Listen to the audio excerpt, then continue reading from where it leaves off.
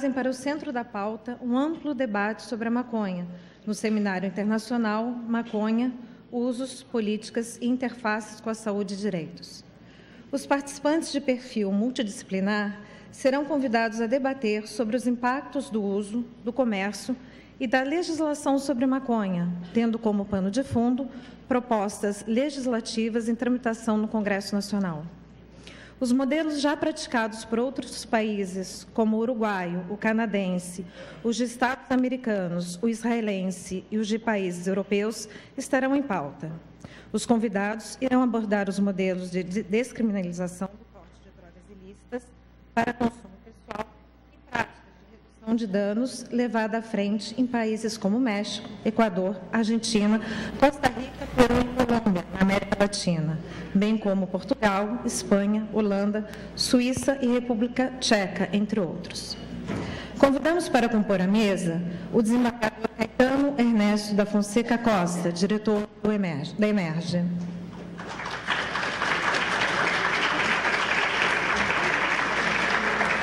O Dr. Paulo Gadeira, presidente da Fiocruz e da Comissão Brasileira sobre Drogas e Democracia. O desembargador Sérgio Verani, presidente do Fórum Permanente de Direitos Humanos da Emerge.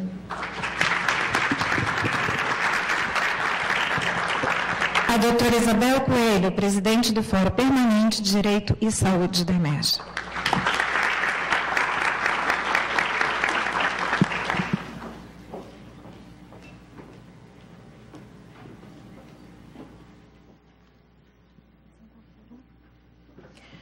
Vida escapa e se vai minuto a minuto. E não se pode ir ao supermercado comprar a vida.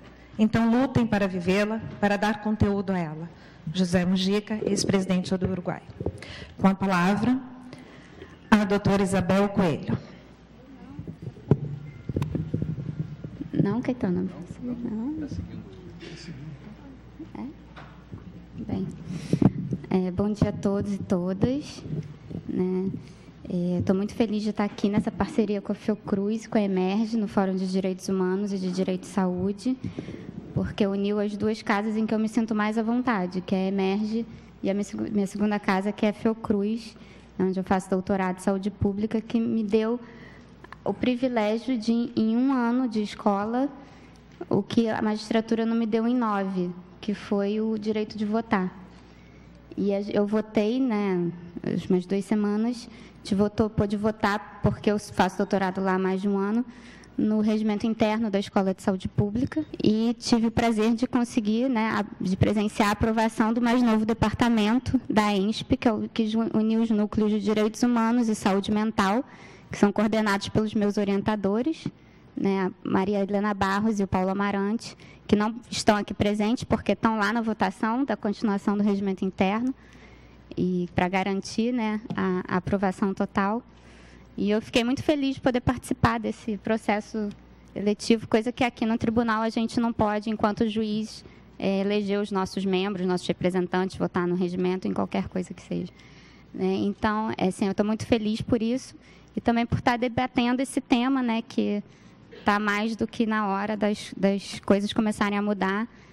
E é, a gente tem que debater isso, principalmente porque o STF daqui a pouco está votando, né, acho que em agosto, finalmente o artigo 28. Né, e vamos torcer para que as coisas comecem, comecem a mudar e para isso a gente tem que começar a debater de como as coisas podem vir a ser, né, quando efetivamente mudarem. Bom, então é isso. Obrigada a todos. Bom debate. Com a palavra, o desembargador Sérgio Verani. Bom, bom dia a todos. Eu quero agradecer ao, ao professor Paulo Gadelha, presidente da, da Fiocruz, pela iniciativa de apresentar a, a Escola da Magistratura, aos fóruns de direitos humanos de saúde, a possibilidade de participar desse encontro junto com a Fiocruz para fazer essa discussão que vai iniciar-se hoje com a presença do convidado especial Julio Calçada, ex-secretário do Uruguai, e que conseguiu fazer no Uruguai uma grande transformação no modo como a política pública de saúde e jurídica lida com a questão das drogas, especificamente a questão da maconha.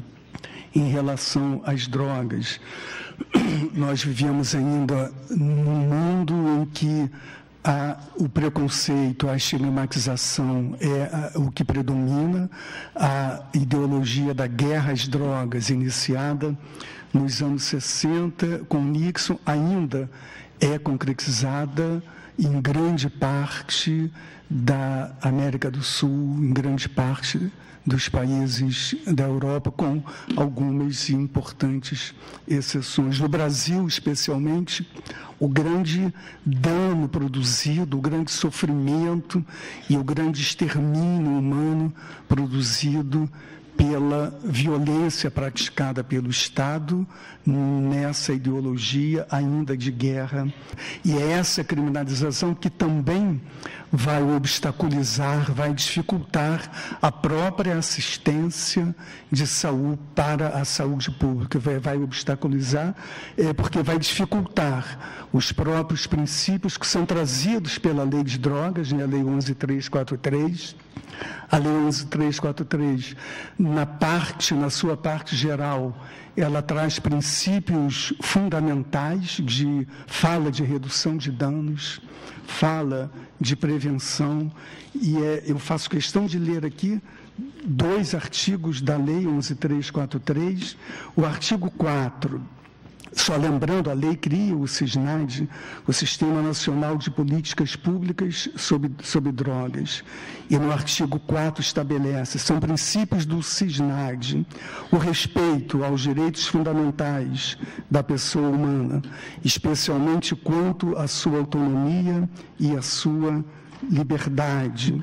E mais adiante, no artigo 5 constitui o objetivo da lei promover a construção e a socialização do conhecimento sobre drogas no país. Eu acho que esse seminário, nesses três dias, está, pelo menos, cumprindo aqui nesse espaço do Tribunal de Justiça, da Escola da Magistratura, uma dessas, desses objetivos do CISNAD, promover a construção e a socialização do conhecimento sobre drogas no país, porque o conhecimento que se tem no senso comum sobre drogas é o conhecimento fundado no preconceito, na exclusão social, na estigmatização e na violência da política penal imposta na lei de drogas, na parte seguinte da própria lei. Primeiro ela fala de, dessa prevenção e depois ela, contraditoriamente, continua criminalizando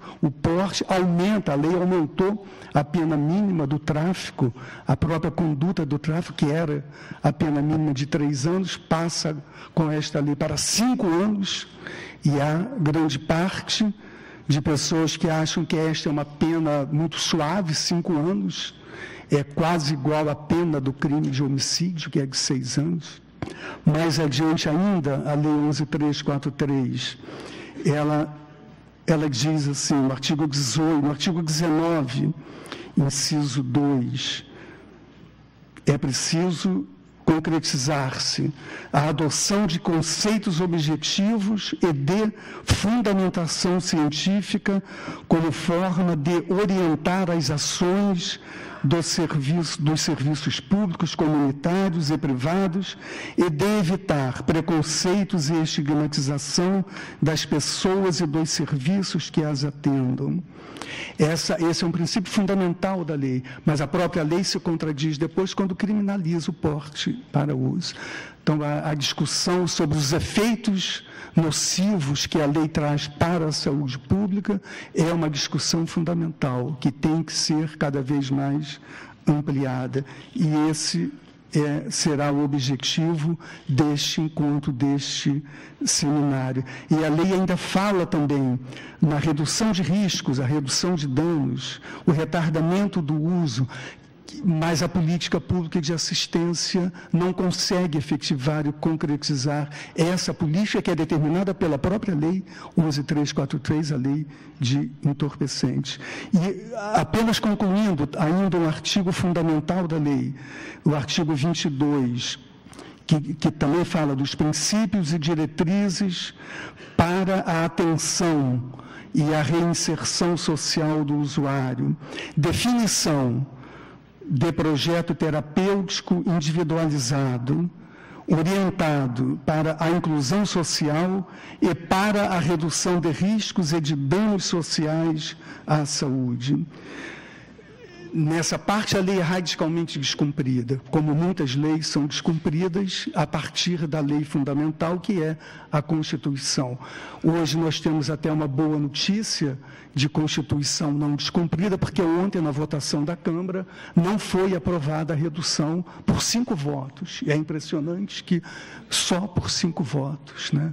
Então, pelo menos, essa é uma boa notícia, porque.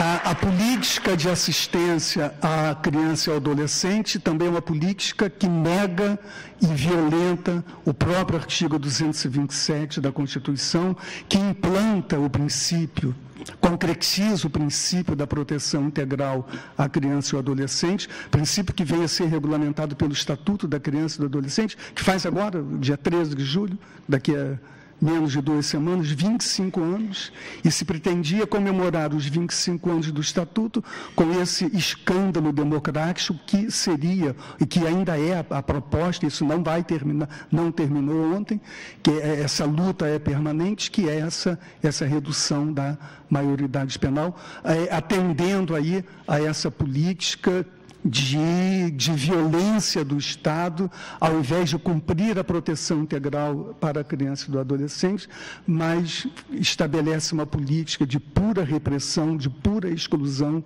e de pura estigmatização da criança e do adolescente.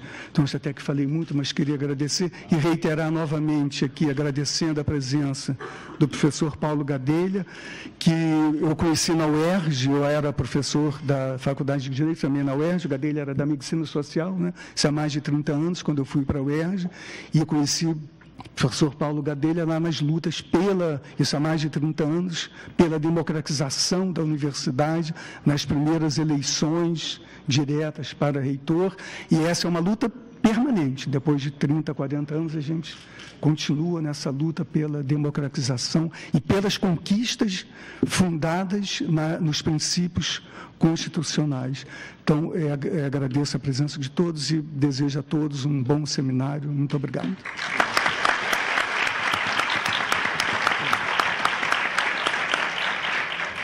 Mas eu, ah. desculpa, eu esqueci de também agradecer especialmente ao diretor-geral da, da Emerge, o desembargador Caetano Ernesto da Fonseca, que deu toda, todo o apoio, tem dado todo o apoio para esse encontro e, e, e outros encontros que temos feito aqui na Emerge com o Fórum de Saúde, e de direitos humanos. Então, agradeço muitíssimo ah, ao Ismardor Caetano. Eu queria pedir desculpas porque eu esqueci das formalidades de agradecer a mesa, não sei o que. Ainda bem que o Verano é educado. Com a palavra, o doutor Paulo Gadelha. Bom dia a todas e todos. Eu queria saudar o desembargador Caetano. É, nós temos uma, uma longa e profunda cooperação com essa casa e agradecer muito o fato de estar abrigando aqui a discussão de um tema essencial. Né? É, também ao Isabel Sérgio Verani, é, que também relembrou né, lutas muito significativas e é, nós temos que estar muito atento, porque tudo aquilo que significou um grande avanço nessa nossa Constituição cidadã, no momento de reinvenção do nosso país, da democracia, das questões sociais e dos direitos humanos, nós certamente hoje estamos vivendo uma ameaça de regressão por um clima é, de processo fundamentalista, um clima é, de natureza conservadora, e que, dentro desse momento de crise social e crise política, se exacerbam as questões do imaginário, né? da, da, ameaça, da, onde eh, esses setores conservadores estão buscando espaços para, de uma maneira muito é, sem processo de debate, sem processo de uma participação social mais ampla, né? é, avançar nas suas agendas regressivas, como foi o caso agora, felizmente, sustentado da questão da redução da maioridade penal.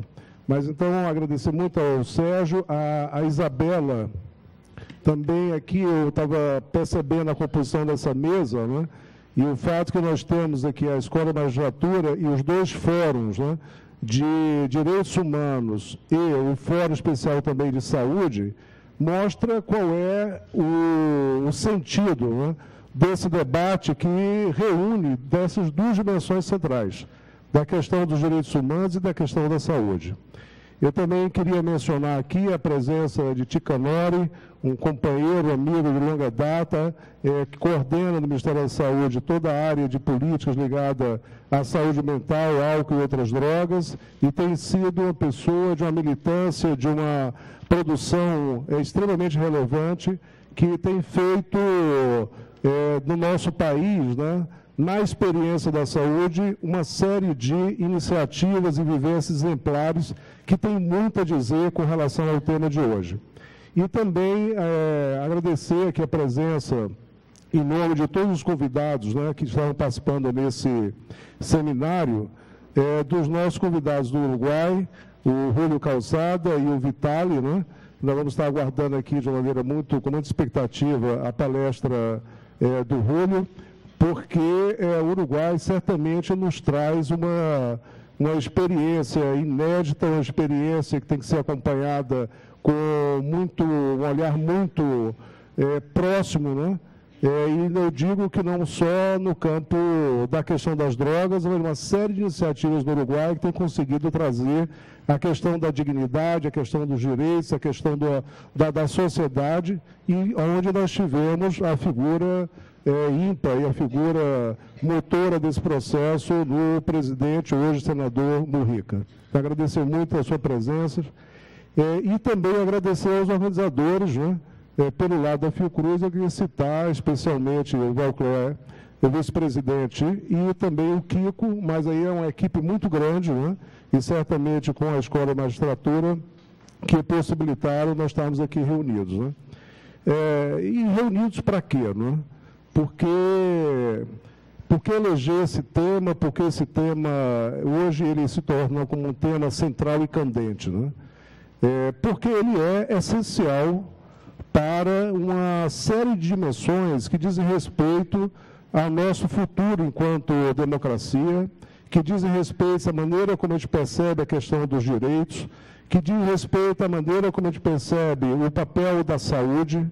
Enfim, é um tema que é, coloca uma, um processo e dimensões, é, e esses processos e dimensões né, estão também trabalhando, seja ao nível internacional, seja ao nível nacional, frente a um processo hegemônico que agora é que começa a dar ah, alguns sinais da possibilidade de ser rompido e de ser revertido na escala internacional e eu diria com muito mais dificuldade aqui na escala nacional em nosso país.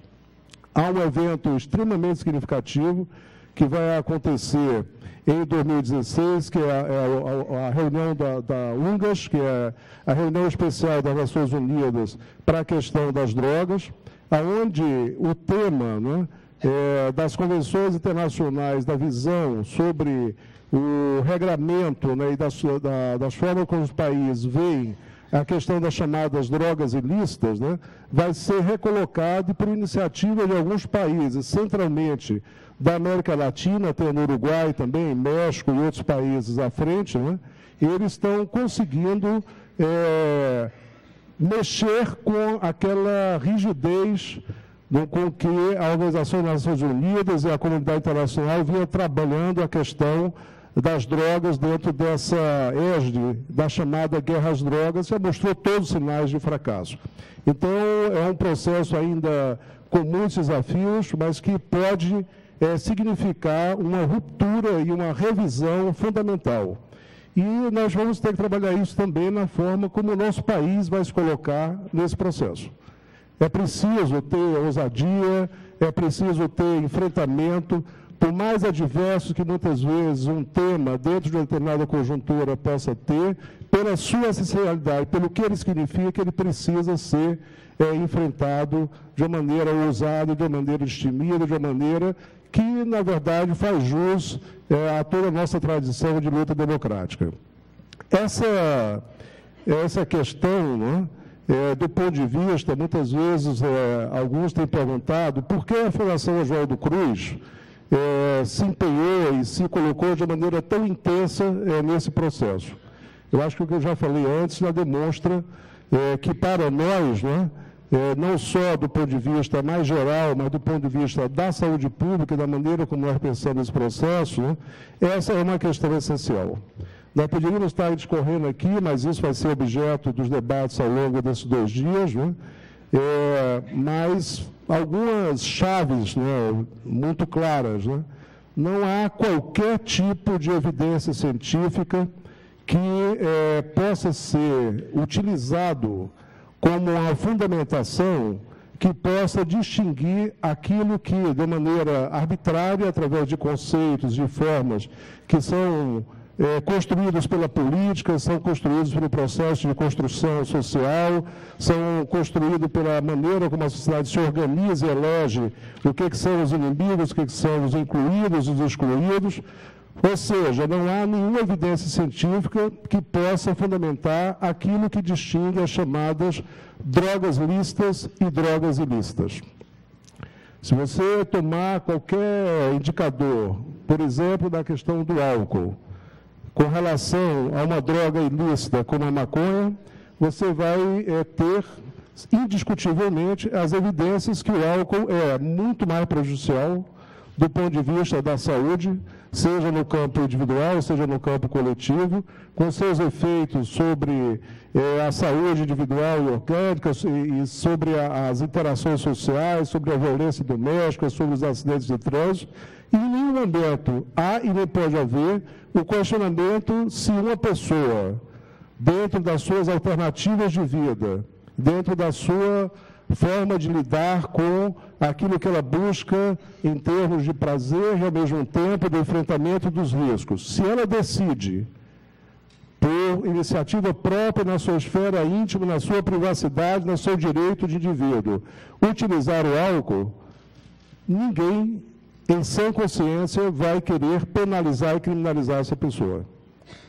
Ela pode, como muitos o fazem, utilizar o álcool e viver de uma maneira é, é, sadia, de uma maneira é, capaz de lidar com aquilo como um prazer, como uma questão de sociabilidade e sem efeitos mais prejudiciais para a sua saúde. Outros terão, com relação a esse uso, por suas vulnerabilidades, sejam de formação no campo da, da da sociabilidade, seja do ponto de vista orgânico, vão ter o álcool como algo em que o risco ultrapassa as esferas da possibilidade de lidar de uma maneira saudável e vão adoecer pelo álcool. Mas aí também, em nenhum momento, alguém vai, vai propor que a pessoa que sofre, a pessoa que é a vítima daquele processo, vai ser considerado um criminoso.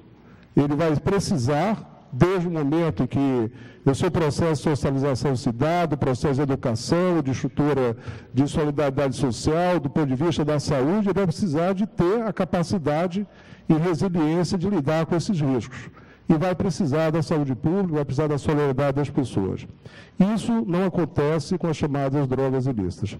E essa, e essa distinção, essa forma, produz os efeitos que nós conhecemos, que no caso do Brasil, no caso da América Latina, ela se organiza através de controle de territórios, ela se organiza através da, do suporte do tráfico de armas, da ausência do Estado é, na, nas comunidades mais vulneráveis e de um, um processo claramente é, discriminador na aplicação da legislação, mesmo a legislação atual, com todas as suas as suas seus problemas e ineficiências, que faz com que, ah, ao mesmo tempo que caracteriza que o usuário não é, pode ser criminalizado, ela não distingue né, o que é, faz a diferença entre o usuário e o traficante, e isso fica no arbítrio de um, um policial, de um delegado e, é, eventualmente, de um juiz, fazendo com que a maioria das pessoas que acabam sendo criminalizadas são as pessoas mais vulneráveis, mais pobres, de comunidades.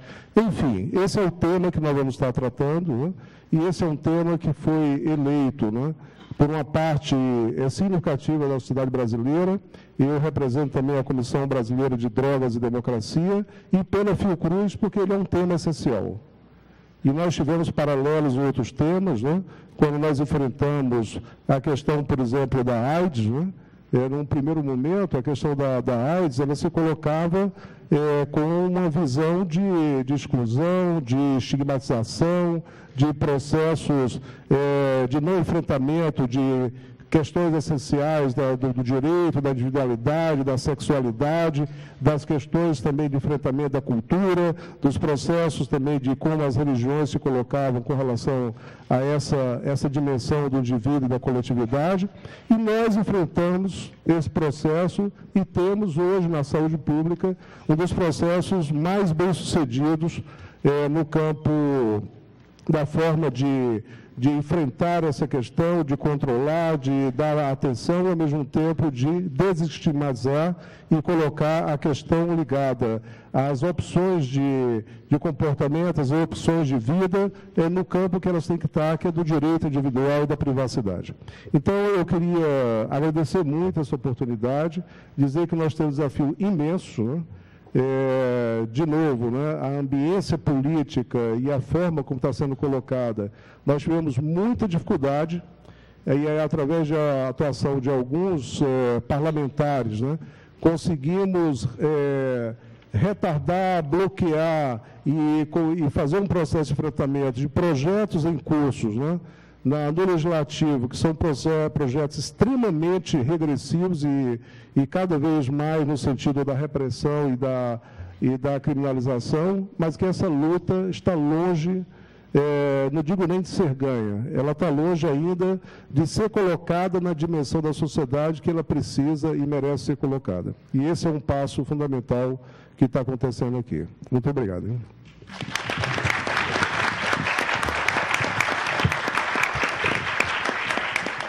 Com a palavra, o desembargador Caetano Ernesto da Fonseca Costa. Eu, tenho, eu costumo é, dizer que é, a Emerge saúda todos os presentes. É uma alegria é, ver o interesse das pessoas é, de comparecer aos nossos auditórios para discutir conosco, juízes, os temas mais variados possíveis. Eu é, quero dizer que eu sempre me esqueço de cumprimentar a mesa também e eu faço agora todos os presentes, peço licença para fazê-lo, na pessoa do desembargador Sérgio Verani, uma pessoa muito querida, porque eu tenho uma admiração muito grande, também em nome da Isabel, doutor Paulo Gadelho, obrigado pela sua presença. E o tema é muito interessante, o judiciário precisa estar aberto à discussão de todos, de todas, de todas as questões que interessam à sociedade. Eu sou da década de 50, então não, é, não vivi Woodstock, não vivi.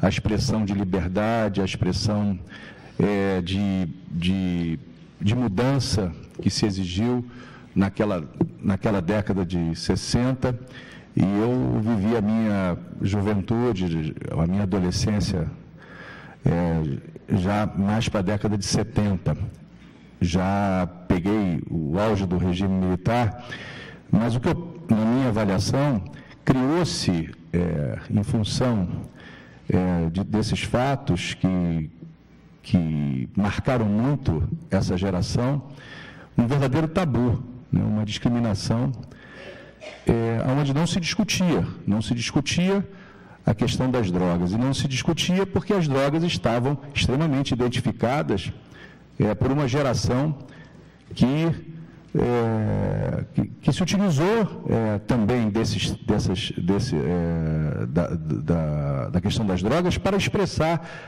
o desejo de mudança, o desejo de liberdade, o desejo é, de democracia. Né? E eu posso até fazer aqui um paralelo é, com relação à questão da, da mulher, né, onde o patriarcado sempre se fez tão presente, e desde então, nas últimas décadas do século passado, as mulheres brigavam, já estavam brigando pelo seu lugar é, na sociedade e vem brigando até hoje, porque o, o machismo, a presença do homem ainda se faz muito presente dentro de um sistema que, que tem uma tendência muito forte marcado na época do governo da ditadura militar e, e, incrível que que hoje a gente continua assistindo isso, né, uma persistência, uma recusa de enfrentar determinados temas de mudança. E assim se passa, a, a, na minha modesta avaliação, com relação às drogas também. Existe um tabu muito grande de, de, de se discutir tudo em relação às drogas. Um tabu que deveria ter sido quebrado com o retorno de, da democracia pelas pela Constituição de 88, mas curiosamente ainda persiste. Né? A sociedade é muito tradicional, a sociedade é, tem medo de mudança, a sociedade tem muito receio é, dessa alteração de paradigmas. Né? Quem está no poder quer continuar no poder. E, e a discussão das drogas, a meu ver, representa essa mudança, representa a liberdade, representa a democracia. Tanto é que nós estamos discutindo também isso aqui, a questão da interface com, a, com os direitos. A, o, a magistratura, o primeiro compromisso da magistratura é com relação à Constituição Federal. E a Constituição Federal fala, assim, em liberdade, não é?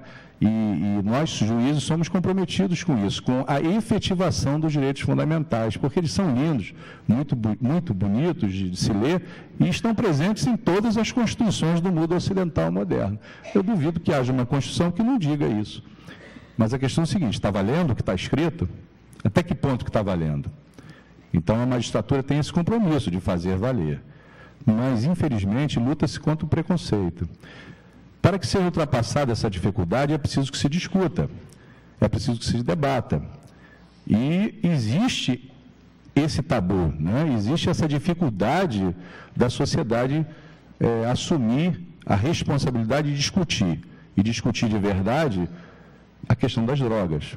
Os pais tem dificuldade de conversar com os filhos, a sociedade tem dificuldade é, de debater amplamente, a mídia e até nos próprios eventos. São eventos que são, infelizmente, é, mal, mal vistos por, por, por, pessoas tradicionalistas, tradicionalistas perdão, que têm medo de mudança, têm medo de enfrentar uma discussão nova, porque não sabem, evidentemente, aonde, aonde podem, podem parar. De forma que é, eu acho muito interessante que nós façamos isso na Escola da Magistratura, que é uma escola aberta a todo tipo de discussão, a tudo que interessa ao direito, e no caso ao direito constitucional principalmente, eu não tenho formação criminal, e, mas eu, eu, eu é, tenho esse compromisso com a Constituição, e, e eu acho que nós temos que, que, que, dar uma reviravolta nesse assunto. E é curioso, né, Verane, que Agora nós é, estamos vendo uma sociedade que está, de repente, dando uma guinada de novo para um modelo mais fechado, mais tradicional, e quase, né, o exemplo citado, quase, quase que a questão da, da maioridade penal um, tem uma outra, uma outra solução, é, num Congresso que se propôs a, e se comprometeu com a nossa Carta Constitucional de 88, evidentemente, é, onde é preservado a, a, o direito fundamental da criança, do adolescente, a questão das liberdades, etc, etc. Então, é, a meu ver, nós não podemos trabalhar no retrocesso, nós temos que caminhar adiante, sempre para frente, com liberdade de discutir. A gente pode discutir o que a gente quiser, o que a gente puder e deve ser discutido, de forma que eu acho que já é tempo da gente é, reverter esse modelo é, e quebrar esse tabu de que não se pode discutir sobre drogas. Eu acho que é, é a sociedade brasileira é, tem esse compromisso. Nós temos que ter liberdade para discutir o que a gente quiser. E para isso eu fico muito feliz de que, de que hoje e nos próximos dois dias estejamos aqui é, no âmbito acadêmico, no âmbito da escola, discutindo com toda a liberdade e essa questão do, do uso tanto medicinal como também do uso das drogas pessoal é um assunto que está em pauta E eu acho muito importante, dentro de um sistema democrático, que nós venhamos a discutir isso. A pior coisa que pode acontecer é, é continuar com essa com esse preconceito com relação às drogas. Quer dizer, não se discute, joga a questão das, das drogas tudo para a ilicitude e de forma que é, trabalha, trabalha só com o sistema repressivo, quando na realidade o que nós temos que fazer é uma outra, é uma, é uma outra vertente, abrir uma outra vertente, e eu repito, democrática. Para isso a Escola da Magistratura está comprometida, a Escola da Magistratura é, tem um compromisso de discutir todos os assuntos, sobre todos os, os viés, e, e, e essa parceria com a Fiocruz é muito interessante para a gente. Eu agradeço em nome da Escola da Magistratura, uma entidade que tem toda a seriedade e é uma entidade que interessa a escola também trabalhar em conjunto. Nós, é, o juiz precisa conhecer cada vez menos a lei e mais o que está ao redor da lei. Ele precisa conhecer mais o que a sociedade está pensando, ele precisa é, conhecer e se comprometer com, com, com, com, o mundo, né? com aquilo que está ao redor dele. E o juiz não pode estar fechado para isso. A lei está no papel, ele tem que saber interpretar a lei. Né? Qualquer um é capaz de decorar um artigo legal, mas aplicar esse artigo é difícil, é muito difícil. E nós lutamos, o próprio juiz luta contra o preconceito. Não, não há neutralidade de ninguém, nenhum juiz é neutro. Ele deve ser imparcial, tem que ser imparcial, mas neutro ele não é. Ele tem uma vida por trás, é, uma vida toda em que teve um sistema de educação, e eu repito, a minha geração a maioria, pelo menos, trabalha ainda com preconceito e é preciso que o juiz tenha noção desse preconceito. Porque se ele tiver esse, esse, preconceito, ele vai ser um juiz repressor. Ele não estará aberto a, a, a pensar de uma forma dif, diferente. Né? Na possibilidade, na possibilidade, ainda que seja uma possibilidade, de é, de, de, de, ter outro entendimento que não o de, o de reprimir severamente o uso de droga. E, e, a maioria, eu acho que ainda pensa assim, e pensa até de uma forma inconsciente, talvez. Então, o juiz tem que estar aberto, o juiz tem que conhecer o mundo cada dia mais. Por quê? Mais importante conhecer a lei, tem que saber aplicar, senão não adianta nada. O compromisso da Escola da Magistratura está vinculado a isso, vinculado na formação e aperfeiçoamento do magistrado, no sentido de que ele conheça e, e conheça outros pontos de vista, para que ele possa decidir o que é, da forma é, mais justa, né, mais ética, né, dentro do direito. Afinal de contas, o que nós buscamos é exatamente isso, né, é justiça. E de forma que a escola, eu queria agradecer em nome da escola, eu me sinto até, é, me senti constrangido de sentar aqui é, é, no, na, na, cadeira principal, digamos assim, porque o mérito desse evento deve ser dedicado ao desembargador Sérgio Verani, a Isabel e também a Fio Cruz, e de forma que organizaram tudo, e eu caí de paraquedas aqui só para dar a boa, a boas-vindas a todos. Mas eu fico muito feliz da gente estar tá discutindo isso, eu tenho certeza de que eh, os trabalhos, esses três dias de seminário, serão muito proveitosos, não só para a escola e para a Fiocruz, mas para toda a sociedade. De forma que a, a, Escola da Magistratura agradece a presença de todos e que todos nós tenhamos é, um excelente dia de trabalho, é o que eu desejo. Obrigado. Rúlio Calçada é sociólogo pela Universidade da República do Uruguai membro fundador do Instituto de Educação Popular El Abroio, onde participa da elaboração e implementação de programas de pesquisa e promoção social e cultural relacionados com a situação de pobreza e exclusão dos setores mais vulneráveis e empobrecidos da população. Também atua na pesquisa, elaboração e execução de projetos de promoção da saúde e de intervenção para redução de riscos e danos por uso de drogas em populações de extrema vulnerabilidade social. Foi secretário-geral da Junta Nacional de Drogas do Uruguai, durante o governo de José Mujica. Convidamos o Dr. Julio Calçada para proferir a conferência Regulação da Cannabis no Uruguai.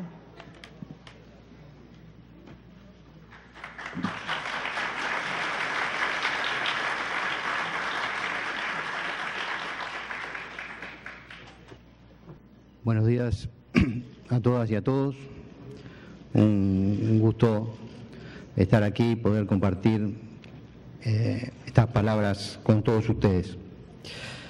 Eh, después de las presentaciones que se han hecho eh, por parte de quienes me antecedieron, es difícil decir cosas originales o nuevas. Pero bueno, voy a hacer el, el esfuerzo en transmitirles de alguna manera lo que ha sido la experiencia que hemos realizado en Uruguay en materia de políticas de drogas. Eh, hablar de, de, alguna manera de drogas, de salud y de derechos eh, en esta segunda década del, del siglo XXI es hablar de, de crisis, ¿eh? es hablar de crisis de paradigmas, es hablar de crisis de interpretación, es hablar de crisis de sentido. Y hablar de crisis es lo mejor que nos puede pasar. Cuando no tenemos crisis, cuando no tenemos eh, contraposición, cuando no tenemos eh, diferencias, cuando no tenemos cuestionamientos, es eh, cuando las sociedades se hacen más difíciles de transformar y de vivir. Yo voy a hacer eh, algunos comentarios eh, preliminares y algunas precisiones.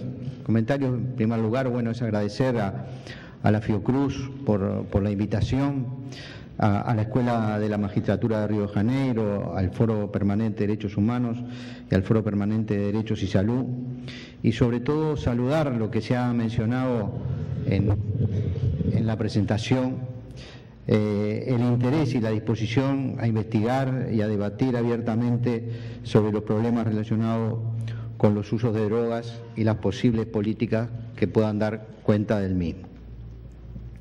Lo segundo, y antes de ingresar al tema, creo que es bueno cuando hablamos de estos temas hacer algunas precisiones.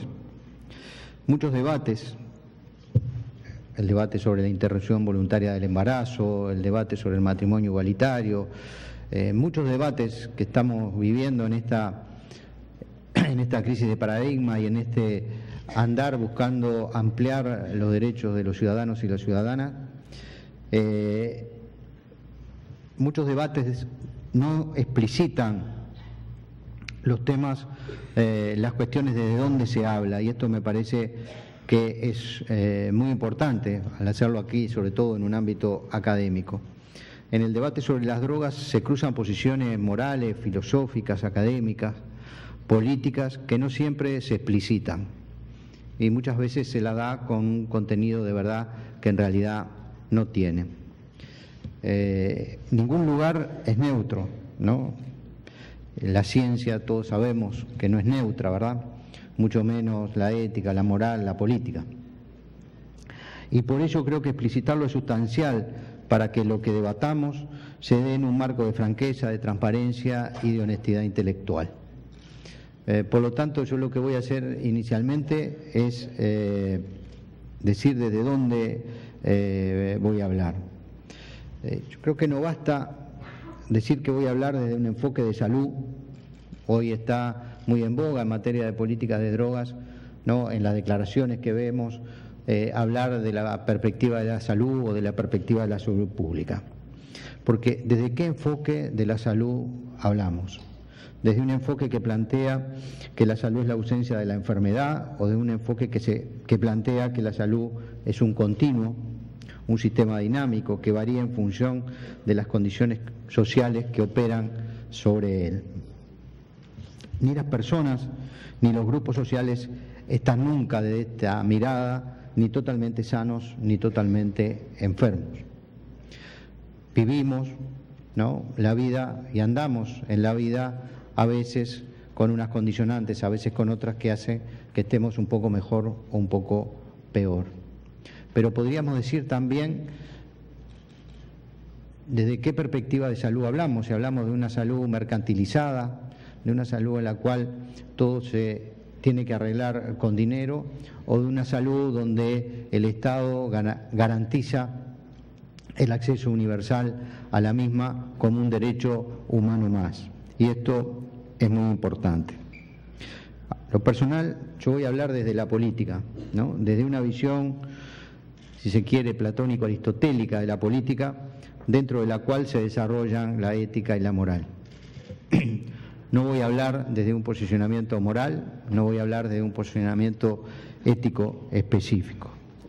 En este sentido, la política expresada como un acuerdo de convivencia en el que se funda la República y en cuyo marco se organizan la ética y la moral, no una política hecha desde una moral determinada. Y esto me parece que es clave para saber desde dónde cada uno decimos lo que decimos. En esta visión entiendo la moral como un campo de la esfera privada que no debe colonizar el campo de lo público. Y entiendo la ética como un campo de la acción voluntaria y responsable en el ámbito de lo público. Y estos, en el debate sobre el tema de las drogas, en el debate sobre estos temas que tienden y que rozan mucho con los aspectos este, valóricos, es muy importante eh, precisarlo. Cada uno puede tener su moral, pero la moral no debe colonizar el campo de lo público, sino nos pasamos a la esfera de un Estado confesional y no en la esfera de una república democrática. Entiendo entonces, como les decía, que la ética personal en el sentido de la responsabilidad de la persona sobre los actos personales y voluntarios que realiza y la ética pública en el sentido de la responsabilidad del Estado de garantir el desarrollo de las libertades y el goce pleno de los más amplios derechos personales y colectivos y fundamentalmente el goce para todos los ciudadanos de todos aquellos bienes sociales, culturales, tecnológicos que la sociedad del siglo XXI ha desarrollado. Creo que esa es la responsabilidad del Estado. Voy a hacer algunas precisiones más en el sentido que lo que pienso, lo que digo y finalmente lo que voy a comentar hoy no tiene pretensión de verdad, ni mucho menos de verdad revelada. Es de alguna manera la experiencia de una práctica política en algunos campos de muchos años y de una práctica política en los últimos cinco años en el campo del Estado y en la implementación de políticas de drogas. Voy a hablar de Uruguay. No, no voy a hablar ni en términos generales, ni pensando que esto eh, pueda ser extrapolable a otros lugares. ¿no? Sin ánimo de dar consejos, de dictar cátedra, voy a comentarle lo que hemos hecho y cómo creo que nos está yendo en función de lo que hemos hecho. He hecho esta introducción y he dicho todo esto porque hablar de drogas y su interfaz con la salud y los derechos es ante que nada una acción política con mayúscula, política que hay que enaltecer y que hay que reivindicar. También hay, y nuestros países lo están viviendo, una crisis de la política. Pero entiendo que cada día se hace más importante y bueno, acá también, por eso decía que es difícil hablar después de lo que se ha dicho, ¿no? Se ha hecho una reivindicación explícita de la política desde la lucha por la democracia en Brasil, que coincidió en muchos aspectos con la lucha por la democracia en Uruguay, en Argentina, en Chile, en todos estos países que vivimos las dictaduras de la, de la década del 60 y del 70 en el siglo pasado. Entiendo que cada día se hace más necesario realzar la política siempre el desprecio de la política es el caldo de cultivo de los autoritarismos de diverso cuño. Y el autoritarismo en materia de política de drogas ha tenido, tiene y tendrá los peores pronósticos. Y eso es lo que estamos viviendo después de 50 años de autoritarismo, de unas convenciones que son presentadas como el Código de Amuraví, inmutables. Entonces voy a intentar hablar de salud, de derechos, de cultura y de sociedad, porque hablar de estas cosas requiere, en alguna manera, de todos estos aspectos. Para hablar de salud y de derecho tenemos que hablar de sociedad y cultura. ¿En qué sociedad, de qué cultura somos parte? ¿En qué momento inaugural, en este momento inaugural del siglo XXI en el que estamos inmersos?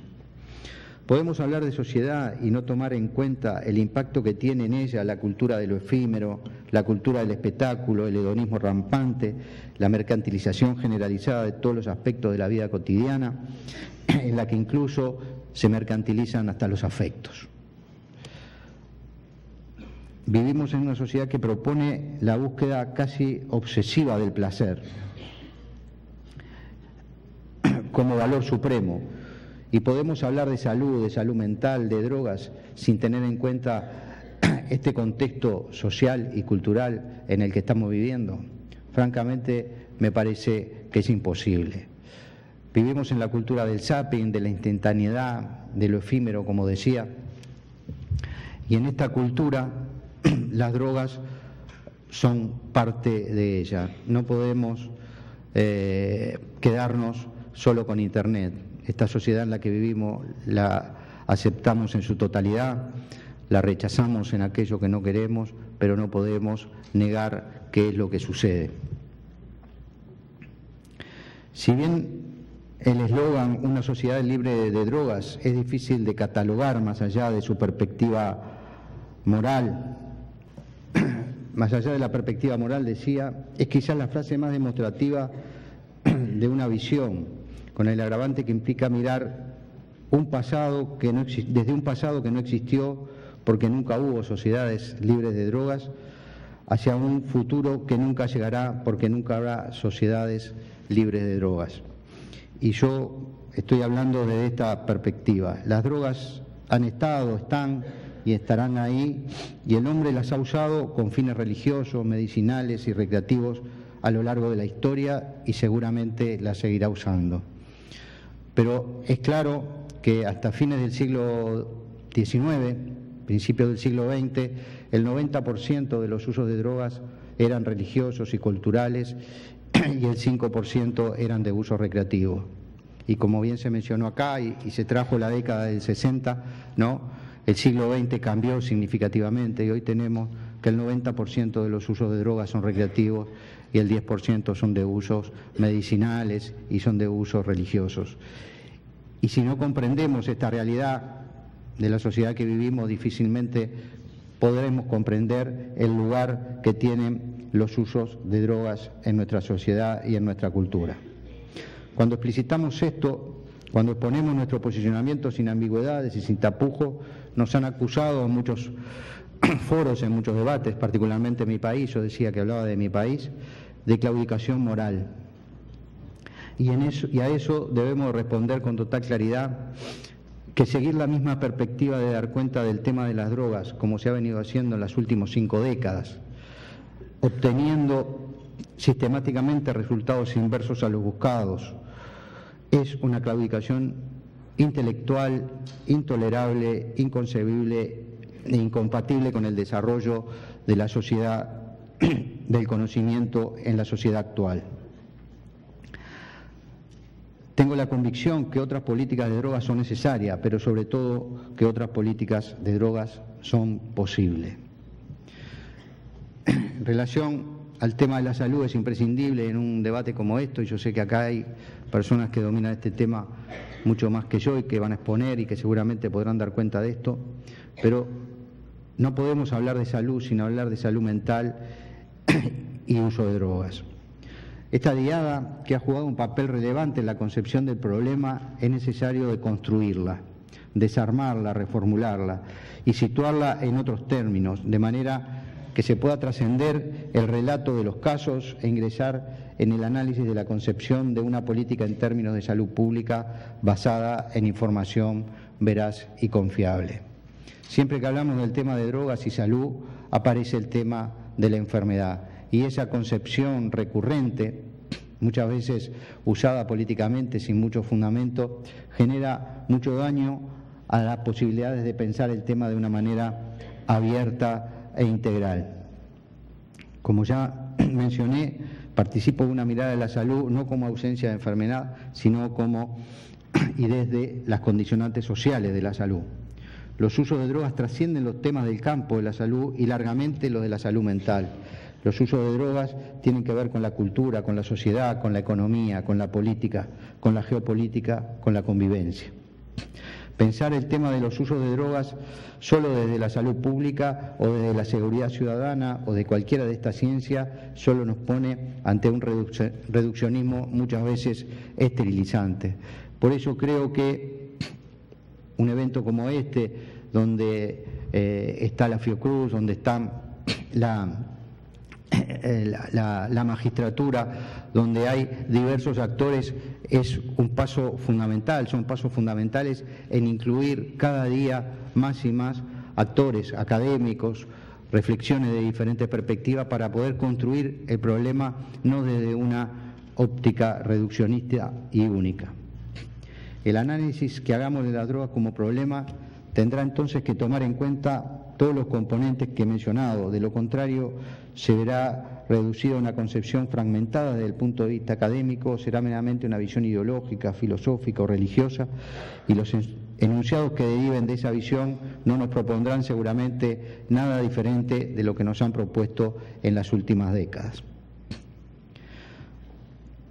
Finalmente, y ahora sí, centrando más directamente en tema y en lo que nosotros hemos realizado en nuestro país, eh, es necesario decir que las políticas de cannabis, las políticas de drogas, las políticas públicas se tienen que dar en el marco de un modelo de desarrollo. Las políticas del cannabis no están aisladas. No hay una política del cannabis por fuera de un conjunto de políticas sociales. Y no hay políticas del cannabis antes que inmersas en las políticas sociales, inmersas en las políticas de drogas. Tenemos que definir qué política de drogas queremos llevar adelante para después definir qué política vamos a llevar con respecto a cierto tipo de drogas. También estuvo presente en las reflexiones iniciales, no podemos tener una política con un carácter para el alcohol, otra política con otro carácter para la marihuana, para la macoña, otra política para el tabaco, otra política para otras drogas. Si bien seguramente la forma en que regulemos todas estas drogas sea de una manera diferente, pero todas se tienen que dar dentro de una concepción de cómo entendemos las políticas eh, públicas en materia de drogas.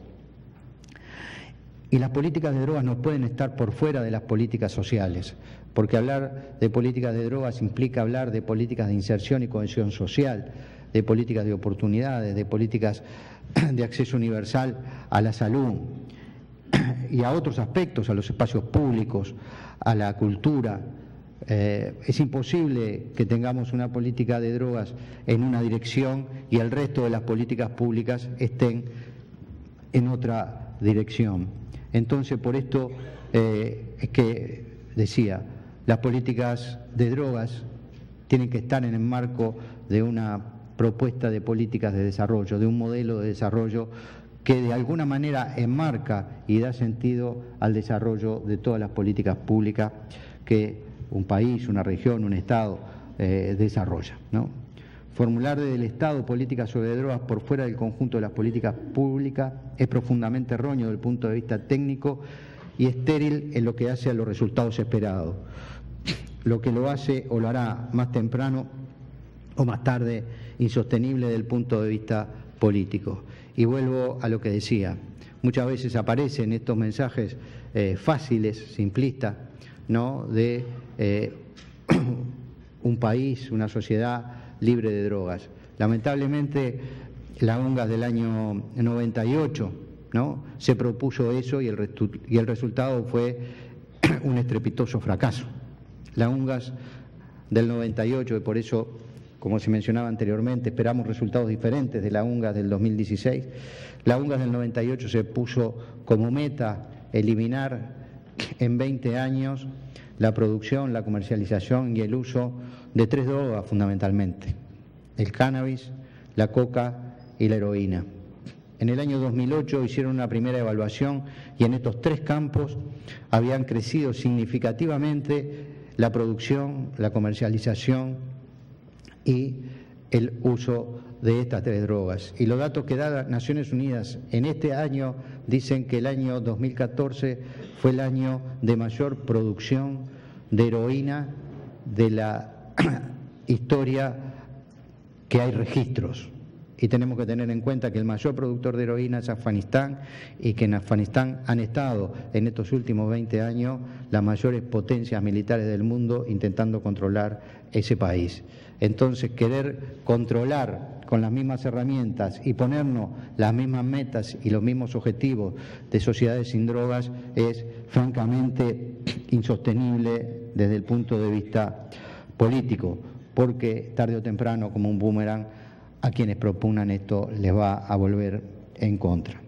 Las políticas sobre drogas tienen que estar estrechamente relacionadas con las políticas de salud pública, sin duda, que son un derecho humano y por lo tanto no mercantilizable y por lo tanto universales. Y esto me parece que es un aspecto sustancial. Tienen que estar entrelazadas con las políticas de inserción y cohesión social y por lo tanto articuladas con las políticas educativas, de empleo y de acceso a la cultura, que también tienen que ser, desde mi punto de vista, políticas universales. Diseñar y ejecutar políticas sobre drogas con independencia del resto de las políticas sociales implica conceptualmente centrar la reflexión en las sustancias y dejar de lado que su uso se da en un, en un contexto en el que las condicionantes sociales tienen, juegan un papel relevante. Entonces, de alguna manera, no se puede decir las políticas que diseñemos de aquí en más se tienen que centrar en la persona y dejar de lado las sustancias, cosa que compartimos plenamente. Para que esto suceda se tienen que dar un conjunto de condicionantes de comprensión del problema y del diseño de las políticas que en función de ello se hacen después que el objeto de las políticas sobre drogas sea el sujeto, la persona, erradicando la sustancia como punto focal de la acción, implica indefectiblemente que éstas se diseñen y ejecuten en un marco de articulación y cooperación con el conjunto de políticas públicas y de políticas sociales en particular. Todo esto, todo lo que he dicho puede parecer muy plausible, he dicho acá en un ámbito académico pero puede resultar insustancial y es mucho más complejo en términos de la práctica política. En la práctica política a veces juegan otros aspectos y desde la academia, desde las organizaciones sociales, desde las ONG, tenemos que poder también eh, reflexionar sobre nuestras propias prácticas ¿no? como actores políticos, desde la academia, eh, desde las organizaciones sociales, desde los movimientos sociales. Para hablar de eso, entonces voy a empezar a hablar más estrictamente sobre lo que fue nuestra experiencia. Nosotros veníamos desarrollando en Uruguay desde el año 2005 políticas públicas orientadas al desarrollo. Teníamos políticas de drogas insertas en las políticas sociales. Habíamos impulsado en Naciones Unidas resoluciones en el sentido de que las políticas de drogas se tenían que llevar adelante desde la perspectiva de los derechos humanos y que la responsabilidad compartida incluía a todos los actores sociales en el diseño y ejecución de esta política. Aunque esto suene raro, ¿no? Hasta el año 2010, 2009, perdón, cuando Uruguay impulsa una resolución en la Comisión de Estupefacientes de Naciones Unidas, eh, no existía una interrelación entre drogas, entre políticas de drogas y políticas de derechos humanos. Incluso en esa comisión de estupefacientes, Uruguay eh, planteó que si no se tomaba una resolución en, el en relación al tema, si no se llegaba a un consenso en relación a que las políticas de drogas tenían que mirarse de la perspectiva de derechos humanos, estaba dispuesto a someter a votación la propuesta de resolución. Y parte de la cultura eh, de Naciones Unidas, de la cultura diplomática de Naciones Unidas, implica que todas las resoluciones se toman por consenso.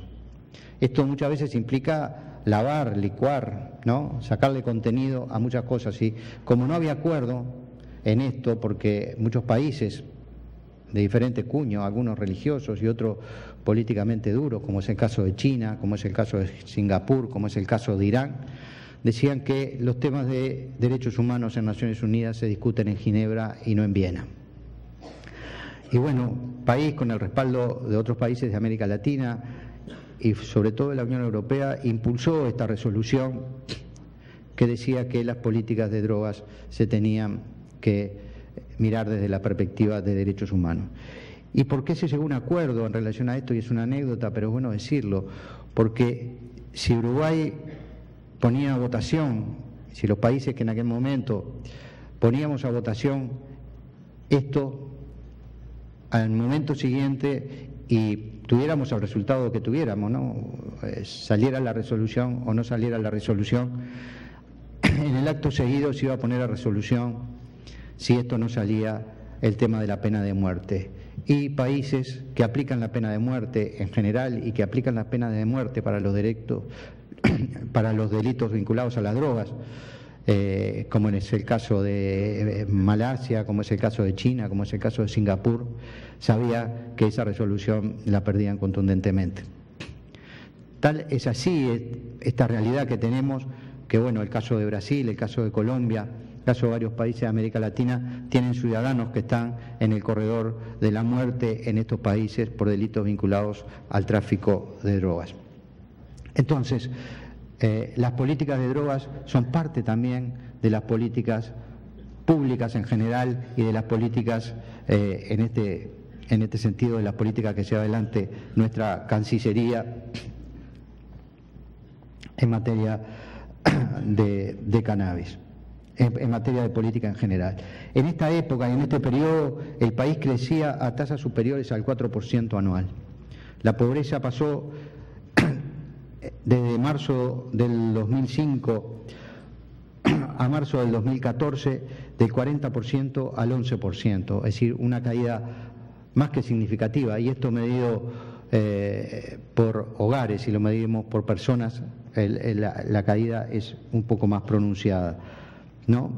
El desempleo cayó a valores desconocidos en los últimos 60 años, situándose en el entorno del 6%, y el índice de Gini pasó del 2004 al 2012 del, 4, del 0,452 al 0,379. Cuando el índice de Gini se acerca a cero, las sociedades son más igualitarias. A partir del año 2008 en Uruguay se invierte más de seis décadas de flujos migratorios negativos. Uruguay expulsó población en términos económicos, en términos políticos, durante 60 años. Y a partir de este año, Uruguay comienza a ser receptor de uruguayos que retornan, pero también receptor de inmigración regional que se localiza en los más diversos espacios de la cadena productiva. Industriales, consultores, la población en general dicen ante encuestas de percepción que Uruguay tiene un futuro promisorio que vale la pena vivir en él, después de largas décadas de tener una visión negativa sobre estos temas. Pero toda buena historia tiene su pero y en este periodo 2009-2012 en el Uruguay se dispara la tasa de criminalidad que pasa de 5,3 a 7,9 de crímenes violentos casi a mil habitantes. Y esto que para algunas regiones de Brasil, no para todas, pero sí para algunas regiones o para algunos países en general, puede resultar insignificante, para el Uruguay implicaba un crecimiento del 50% de la criminalidad en un periodo muy corto de tiempo. Y esto en la percepción de la opinión pública tuvo un impacto eh, muy fuerte, tenía un impacto muy fuerte. El análisis de este fenómeno nos dice, cuando lo hacemos, que la tasa de criminalidad está directamente asociada al cambio de los patrones en los mecanismos de comercialización ilegal de drogas. Se profundizan las acciones de los grupos criminales en busca de controlar territorio para sentarse y, y monopolizar en ellos el comercio de las drogas en general. La opinión pública estaba en ese momento, era el año 2011, 2012, cada día más sensibilizada ante la percepción de que la sociedad se deslizaba en una espiral de violencia y criminalidad sin límites. No importaba y no importa en este caso para el análisis de la política si la realidad fáctica, ¿no? si, si seis, siete muertos cada 100.000 habitantes es una crisis en materia de criminalidad. Lo que importa es que la percepción social es parte de la realidad y la política no puede dejar de lado esto. No importa que hagamos un análisis comparativo y que digamos, bueno, la sociedad uruguaya comparado a la sociedad montevideana, comparado a San Pablo, a, a Buenos Aires, es una sociedad relativamente segura. ¿no? La, bueno, muchos de ustedes, y hemos hablado en estos días, han estado en Montevideo, es una ciudad pequeña, muy controlable, con condiciones de seguridad bastante buenas comparativamente, pero para la sociedad, para quien vive en esa sociedad, esto era una crisis eh, global. Y ante un problema complejo no podíamos ensayar una solución simple y nos inclinamos por una respuesta que incorporara diferentes miradas. Y se definió una estrategia que puso énfasis en los bienes a preservar y no en los aspectos a controlar. Así nació, luego de un periodo de discusión de un mes y medio en el ámbito del Poder Ejecutivo del Gabinete de Seguridad, la Estrategia por la Vida y la Convivencia, que es un amplio cuerpo conceptual que hace un análisis de las diferentes formas de violencia que afectan a la sociedad, la segmentación residencial, la fragmentación social, el desprecio por la vida propia de los otros, entre muchos otros aspectos.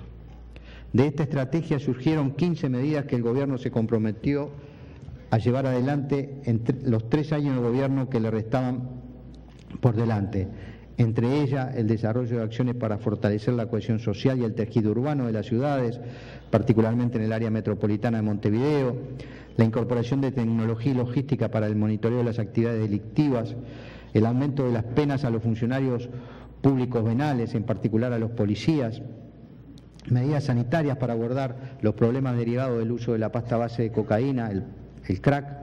Una de las medidas fue la de, y una de las medidas fue la de la regulación del mercado de la marihuana, que implicaba dar cuenta de toda la cadena productiva, desde la plantación, el cultivo, la producción, la distribución, la dispensación y la adquisición de la marihuana. Se podría haber optado en este momento de crisis eh, política en materia de seguridad, se podría haber optado por una estrategia de lucha contra el narcotráfico y el crimen organizado, como impulsan y financian algunos organismos internacionales, de Naciones Unidas particularmente. Pero se optó por una estrategia por la vida y la convivencia. Y esto es un aspecto sustancial en la concepción del problema y en la respuesta que se le da al mismo está el cambio de paradigma y está la crisis de paradigma.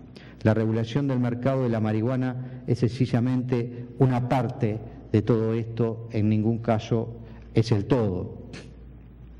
Y esto me parece que es muy importante. ¿no? En, estos últimos años, y por el lugar que yo he tenido particularmente en este, en este tema,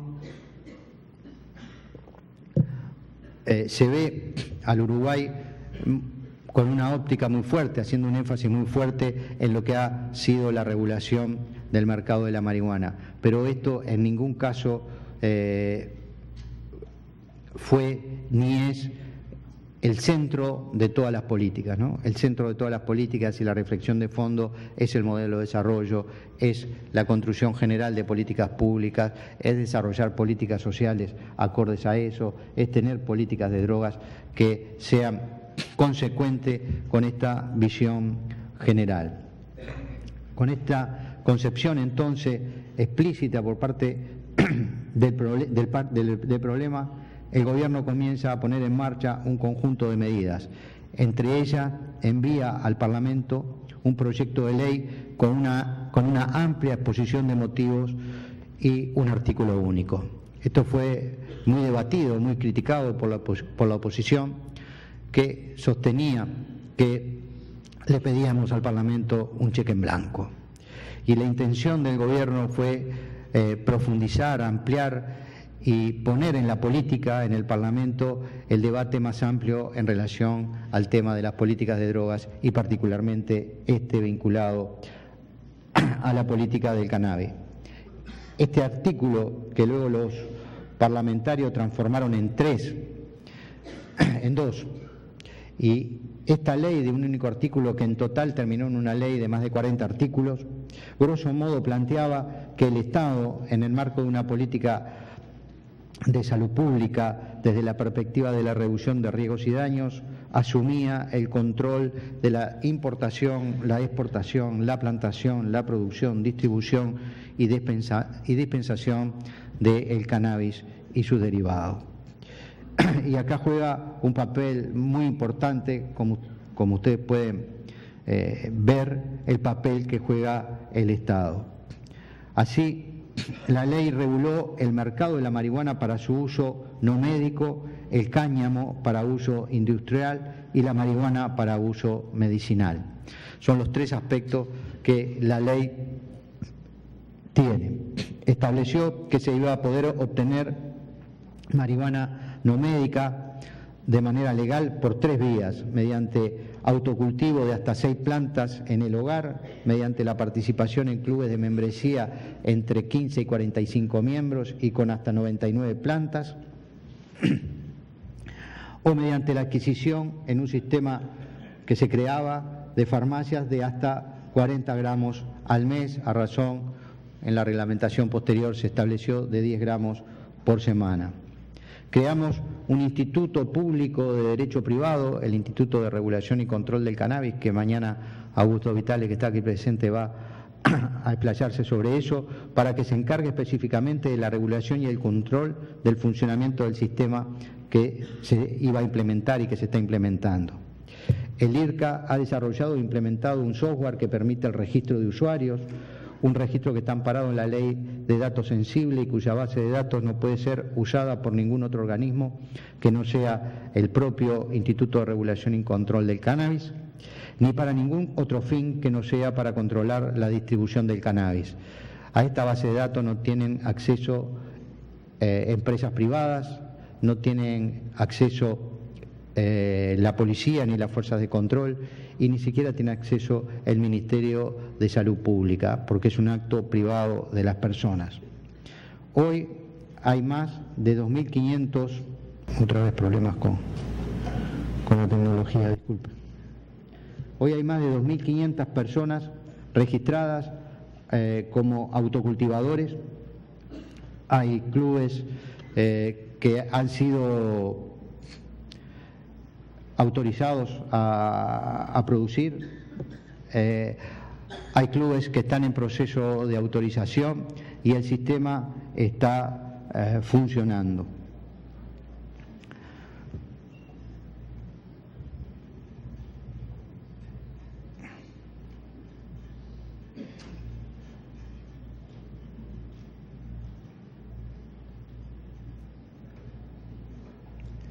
Con esto eh, el, IRCA también, y esto es muy importante eh, precisarlo, eh, porque a nivel de, de, los medios muchas veces se ha manejado en forma errónea, no decimos que de manera profesa, pero sí se ha manejado en forma errónea, que el sistema está paralizado. Nosotros, para la dispensación por el sistema de farmacia, tuvimos que desarrollar un proceso competitivo, se comenzó en agosto del año pasado una licitación que va a, generar en los próximos, en las próximas semanas, quizás en los próximos meses, no, mucho más, eh, las licencias necesarias para que las empresas planten, produzcan, distribuyan el cannabis para la dispensación en el sistema de farmacia.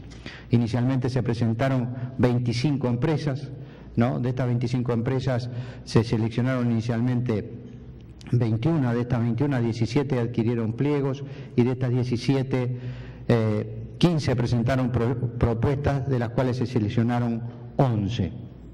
¿no? Este proceso está eh, en, camino y seguramente eh, sea lo que nos permita antes de que finalice este año, que la globalidad del proceso de regulación esté eh, Al inicio de este punto decíamos el camino de la regulación del cannabis en Uruguay y esta palabra, la palabra camino, es un concepto clave para nosotros. No somos ni queremos ser un modelo, más aún, tenemos el convencimiento de que en materia de políticas de drogas y más específicamente en materia de políticas de cannabis, no hay modelos, hay experiencias. Eh, Holanda es una experiencia que tiene 38 años, no está más de más precisarlo, pero es una experiencia, no es un modelo porque nadie más ha hecho lo que hicieron los holandeses hace ya casi 40 años. Portugal, que es una experiencia cercana a ustedes por aspectos culturales, lingüísticos y demás, inició hace 14 años, 13 años, una experiencia de modificación de las políticas y también es eso, es una experiencia, es un camino que puede ser evaluable, que puede ser evaluada hoy y que tiene, de mi punto de vista, una evaluación muy efectiva, muy positiva, pero no es un modelo porque nadie ha seguido la experiencia portuguesa en su totalidad. Incluso si analizamos eh, el caso de la regulación en los cuatro estados de Estados Unidos, donde hoy hay eh, mercados regulados para el cannabis no médico, los cuatro estados tienen legislaciones y características diferentes. No hay un modelo. Y eso tiene muchas implicancias para nosotros y la va a tener, lo voy a, mencionar ahora después, eh, en materia de la posibilidad de desarrollar política soberana e independiente desde los estados más allá eh, de, de, las convenciones de Naciones Unidas. Nosotros estudiamos todas estas propuestas, tomamos aspecto de todas ellas, pero no, no copiamos enteramente ninguna. Tomamos experiencia también de experiencias que son puntuales, acotadas, como la experiencia de los clubes canábicos en España. En España hay dos modelos de clubes canábicos, los catalanes y los vascos. Nosotros optamos más por el modelo vasco, que es un modelo más de tipo social. El modelo catalán es un modelo más de tipo de, con muchas implicancias económicas y, una impronta de amplia mercantilización también del cannabis y nosotros teníamos como objetivo general eh, reducir significativamente la mercantilización de esta sustancia. Describimos entonces de los modelos y no nos proponemos como un modelo. Las políticas de drogas de talla única, impulsada por el modelo de las convenciones y reforzada por la iniciativa de la guerra a las drogas que llevara adelante Nixon en los 70, han fracasado estrepitosamente porque han obtenido los resultados inversos a los que se proponía. Este modelo y hay una discusión que también es anecdotaria, pero eh, en Naciones Unidas hoy lo que se discute es si las convenciones son un marco o la piedra angular de las políticas de drogas a nivel mundial. Y, esta discusión, que puede parecer ridícula, semántica, es una discusión fundamental para poder definir y dar un paso a que las convenciones tienen que ser eh, flexibles y le tienen que permitir a los países implementar políticas diferentes. La idea de que las convenciones son la piedra angular refuerza la idea del modelo de talla única, una misma política para China, para Estados Unidos, para Brasil, para Uruguay, cuando somos realidades sociales, culturales, políticas eh, totalmente diferentes.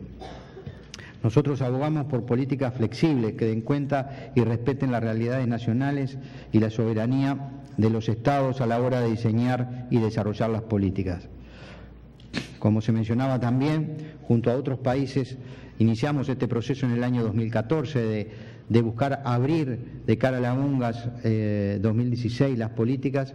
Empezamos siendo cinco países, en marzo de este año fuimos 15, se incorporaron otros países de América Latina, se incorporaron países de la Unión Europea y se incorporaron países de África. Estamos en una movilizándonos regional y globalmente para que la UNGA 2016 sea un ámbito de debate real, honesto, sin prejuicios y sin temas prohibidos. Eh, hasta hace muy pocos años en Naciones Unidas estaba prohibido hablar de reducción de daños y eso, más allá de que muchos países europeos tienen hace más de 25 años políticas de reducción de daños con resultados y con evidencia que demuestran que son eh, programas y, políticas viables. ¿no? Tenemos el convencimiento de que el siglo XXI que el siglo XXI alumbrará otras políticas, porque no solo son necesarios, sino que son posibles. Y eso es lo que nos importa reivindicar y subrayar ahora. Es posible llevar adelante políticas de nuevo cuño, de nuevo tipo, es posible desarrollar políticas con otras características hoy, aquí, ahora, en América Latina, como se están llevando adelante. Muchas gracias.